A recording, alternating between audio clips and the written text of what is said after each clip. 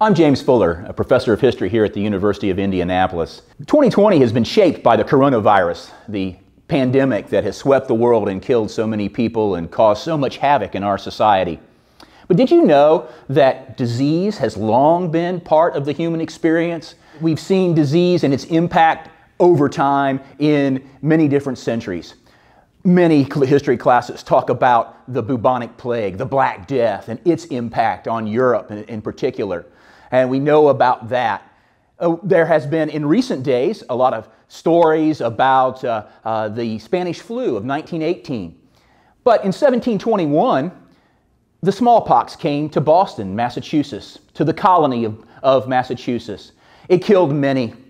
And it also saw a revolution in medicine as the physicians there began to introduce a new technique for preventing the disease called inoculation.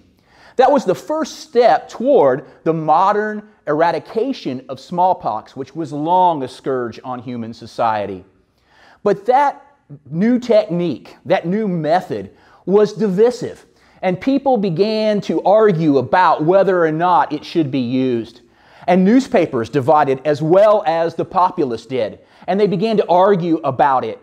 Those who opposed inoculation also began to oppose the government and to speak out in opposition to government policies.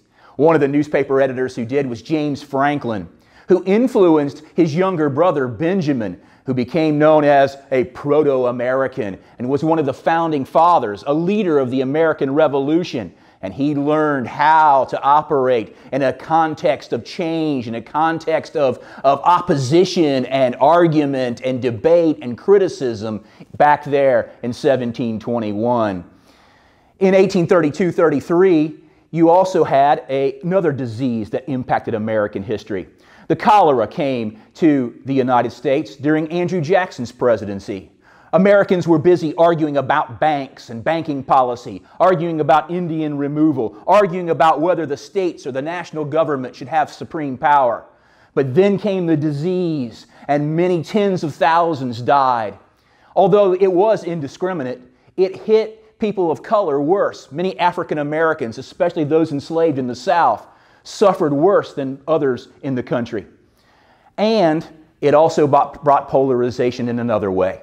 Many Americans, especially in the northeastern part of the country, began to blame immigrants for the disease. They called it a foreign fever, a foreign disease, and they pointed the finger at the immigrants.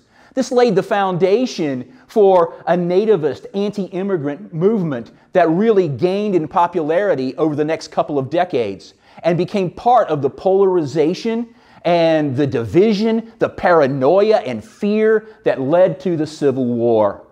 Disease is important in American history, in world history. It shapes the society we live in. Yes, we're in a different time, but in some ways, we're not any different. We're also experiencing a period of time that is being shaped in large part by what's happening in the medical world and in our health care issues uh, that are so wrapped up in the pandemic. If you come here to the University of Indianapolis, you'll learn about the relevance of the past to the present. And we have our majors who go off and become teachers, who go to law school and become lawyers, who uh, go on to graduate school. But a large percentage of our majors go into business, and some of them find great success. One who did came back a few years ago and came and spoke to some of our students, and he uh, talked about his experience, and he said that he was often asked by his employees, he said, Well, how is it that you have a history degree and you're my boss? And I have my degree and I'm working for you. I didn't think that history was relevant. I didn't think it would really work in the, in the business world. And he said he always tells those employees, he said, Your degree taught you to be a good employee, how to do a good job. My degree taught me how to take over the world. Well, I'm not sure that we can help you take over the world, but we can certainly help you learn important life skills and how to see that the past is indeed relevant to our present. Thank you.